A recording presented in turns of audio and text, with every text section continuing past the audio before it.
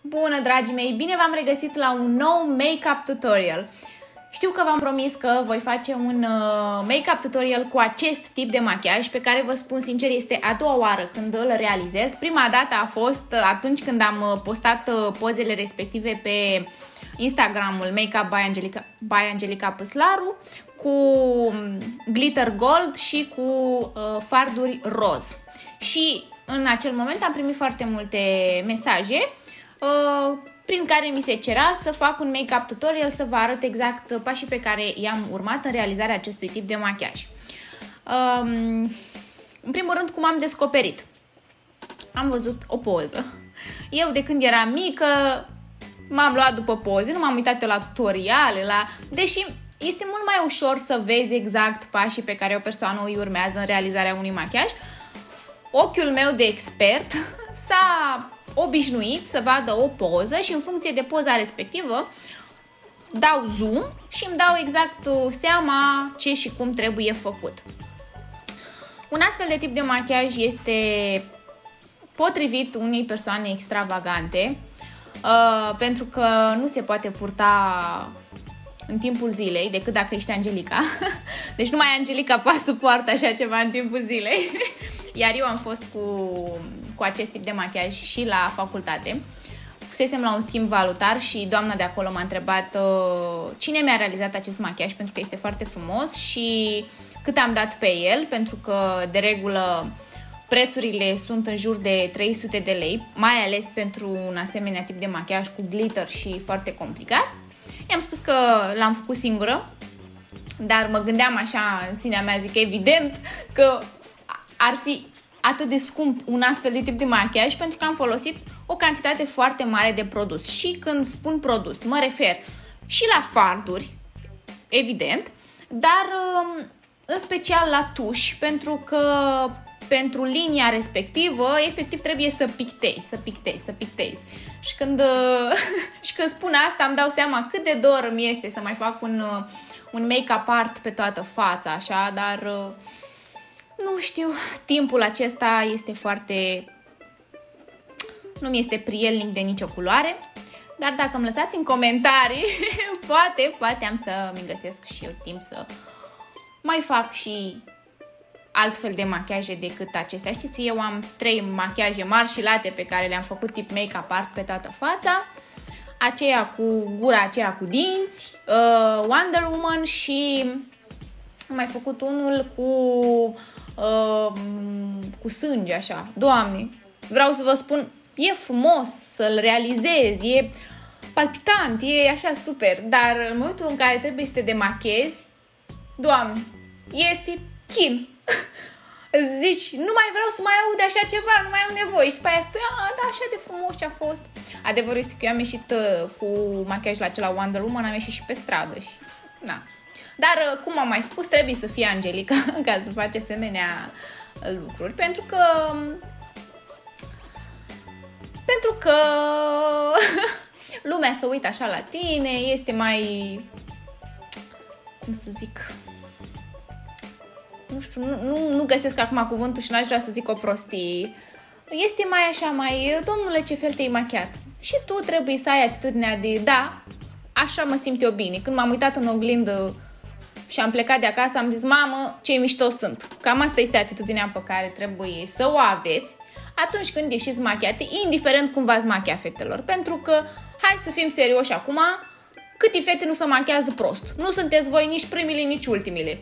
Adică, ok, și am încercat să-mi fac, nu știu, dau un exemplu, liniile de tuș și mi-a ieșit o linie de tuș nașpa și vine, vine o domnișoară sau un domnișor și îți spune, domnule, vai, dar ce, o linie de tuș greșită? Da, fă tu dacă știi tu mai bine. Lasă-mă pace așa că port eu cum, cum știu și gata. Eu vă spun pentru că la începuturile, la începuturile mele am avut suficiente comentarii de tipul Vai, ce machiaj, vai, ce nu știu ce.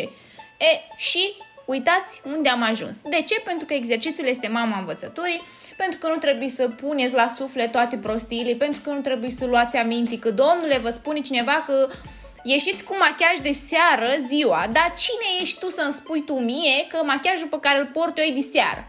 Unde? Vreau și eu să văd o carte de asta unde scrie asta e machiaj de seară, asta este machiaj de zi. Yeti, când o să facă Yeti, când o să facă cartea aia, atunci mă mai gândesc dacă țin cont de ea. Dar nici atunci. Important, eu vă spun și vă mai repet, să vă simțiți voi bine cu ceea ce purtați. Și ca machiaj și ca orice. Și să lăsați părerile altora deoparte. Că ei vă spun așa de, de ciudă. Le e ciudă că nu se machează și ei ca voi de aia. N-au ei uh, talent. Că până la urmă, chiar nu poți acum, sincer vă spun, nu poți acum să te naști și gata, domnule, știi să faci liniile de duș exemplare. Nu, toate se învață cu timpul. Talentul uh, îl dobândești, dar vă spun, exercițiul, eu mă machez în fiecare zi. Vă dați seama cum ar fi eu acum să greșesc vreo linie de tuș la vreun ochi. Nu există așa ceva, pentru că am, îl fac de atâtea ori, cred că cred. Și cu ochii închiși, și cu ochii închiși, mie mi-are și linia de tuș dreaptă. Dar, uh, bine, eu m-am machiat și cu o mână ruptă. Deci, mă scuzați. V-am dat aici și zoom. M-am jucat un pic cu setările la vlog ca să vedeți exact uh, cum, uh, cum umplu golurile, care este, cum sunt liniile, exact fiecare fiecare părticica machiajului. L-am făcut, uh, am ales culoarea verde, mie îmi place foarte mult verdele. De fapt, mie îmi plac toate culorile. Dacă dacă ați observat, eu mă machez cu toate, toate culorile. Nu știu dacă mi-a scăpat vreo culoare, mi-mi place și portocaliu, și galben, și roșu, și roz. Într-adevăr, de roz și de gold sunt mai atașată și în mare majoritatea machiajelor mele se regăsesc nuanțele de roz și de gold. Mai puțin de maro, nu prea îmi place maro, nici sclipicios, nici de nicio culoare, dar indiferent îmi place, nu-mi place, tot le folosesc. Știu că voi mi-ați pus la acela cu gold și cu roz, dar este același lucru, doar că folosiți alte, uh, folosiți alte culori. Ce să vă mai spun eu legat de acest uh, machiaj? Este un machiaj complicat. Dacă stăm să ne uităm la liniile acelea de tuș. Dar nu e imposibil de realizat, ca să ne înțelegem. Adică prima dată când l-am făcut, ce mi-a mi-a, uh, ce mi s-a părut mie dificil a fost uh, să fac linia aceea de tuș pe pleoapă, pleoapa care, care este mobilă și care este moale așa și sus pe pleoapă ca să ne înțelegem și e un pic mai dificil. Dar și lucrul acesta trebuie să țineți cu mâna, nu e nicio problemă, adică nu e, nu e mare inginerie. Aici v-am arătat exact uh, momentul în care folosesc uh, tușul pe linia apei. Tușul este cel mai rezistent. Mai rezistent decât uh, tușul nu este nimica. Deci uh, creion și mai știu eu ce se duc. Tușul este rezistent. Însă este o mică problemă pentru că este, mai, este lichid și îți mai intră în ochi, să mai încetoșează ochiul, trebuie să aplici uh, mai puțin, nu trebuie să aplici o cantitate foarte mare, uh, aplici de mai multe ori ca să facă cum trebuie, să-ți iasă albul acela, adică e una din uh, creioanele mele.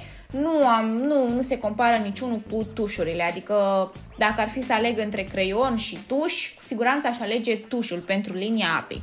Însă, este un singur creion care îmi place mie foarte, foarte mult, de la Radiant Negru, ca să ne înțelegem, că am încercat, le-am încercat și am încercat și celelalte culori, dar mm, mm, mm, mm, mm, nu. Negrul acela este ok, nu se întinde, este, este ce trebuie, dar doar negru. Mi-am luat și albastru și uh, mov și ce mi-am mai luat și mm, mă dau cu ele, că le-am luat să le folosesc, dar nu sunt, uh, nu sunt înnebunită și nu sunt uh, nu sunt prea fericit așa de alegerea pe care am făcut-o. Eu oricum am o colecție impresionantă de tușuri de la Inglot pentru că sunt foarte rezistente, o cantitate imensă și un preț accesibil din punctul meu de vedere, adică un borcănaș din acela care mă ajunge pe mine un an, eu care mă machez de câte, câte zile are anul? 360 și nu știu câte, 65. Sper că nu zic o prostie. În fine, eu mă machez toate alea. Hai să zic minus, minus câteva. Dar cam uh, același uh, lucru este. Și cam, cam atât am avut eu să vă spun despre acest uh, make-up. Dragii mei, nu, nu uitați să-mi dați like, share, să vă abonați canalului meu de, de YouTube. Eu sunt Angelica Puslaru și aștept comentariile voastre. Vă pup și nu uitați să zâmbiți cu gura până la urechi, așa ca mine. Bye! We'll be right back.